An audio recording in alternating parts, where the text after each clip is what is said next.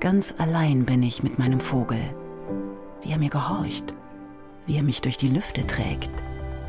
Eine Dummheit könnte mich das Leben kosten.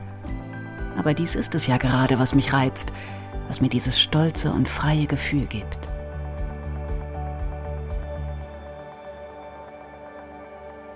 Warum hat meine Mutter das gemacht? Warum ist sie in die Höhe geflogen? Warum hat sie das Limit gesucht? Sportlich war sie sehr. Vielleicht war es die sportliche Note, vielleicht war es auch Konkurrenz. Das war schon ein Abenteuer, das hat sie gesucht. Ihre Jugend war nicht so einfach. Sie hat ihre Mutter sehr, sehr früh verloren. Da war sie knapp drei Jahre alt und ihr Vater hat sie auch schon mit 19 verloren. Sie ist dann auf ihren eigenen Beinen gestanden. Der Name Porsche war noch nicht bekannt. Das war eine Sensation. Die Ästhetik der Karosserie hat sie angesprochen, da bin ich sicher. Sie hat ja den Wagen gekauft, musste aber noch das Auto zur Verfügung geben für die Messe in Genf. Also diese Sensation musste sie noch mal kurz hergeben, bevor sie dann dieses Auto selber fahren konnte. Der Porsche war natürlich damals, da hat man gesagt, man, man macht etwas, was ganz speziell ist. Das ist ja eine Manufaktur gewesen und ich glaube, das hat sie vielleicht auch gereizt dieses ganz einmalige Modell, welches damals eben in Handarbeit gebaut wurde. Meine Mutter ist gern gefahren, aber dass sie sich dann sowas geleistet hat damals, ich bin mir nicht so ganz sicher, ob sie vielleicht auch mal der, der, der Männerdomäne auch mal sagen wollte, ich, ich, ich kann das auch.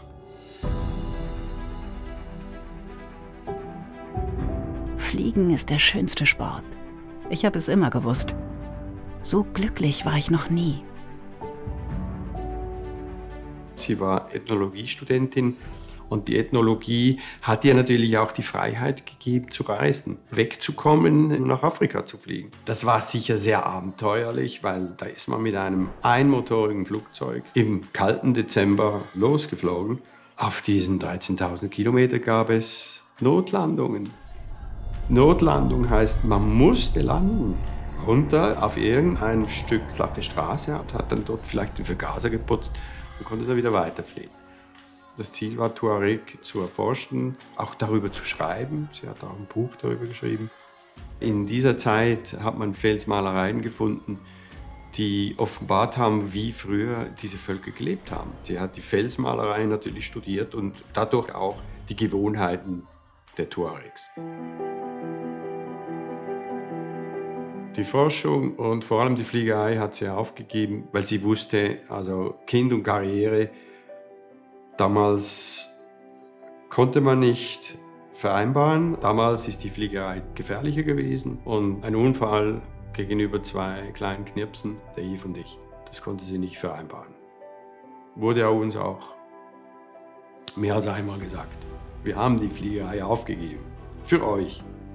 Dieser Freiheitsdrang hat sie natürlich weiterhin noch ausgelebt. Einfach frei zu sein, dorthin zu fahren, wo man will.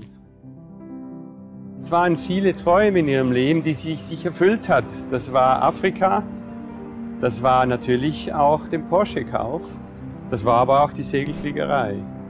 Das sind alles Träume, aber schöne Träume.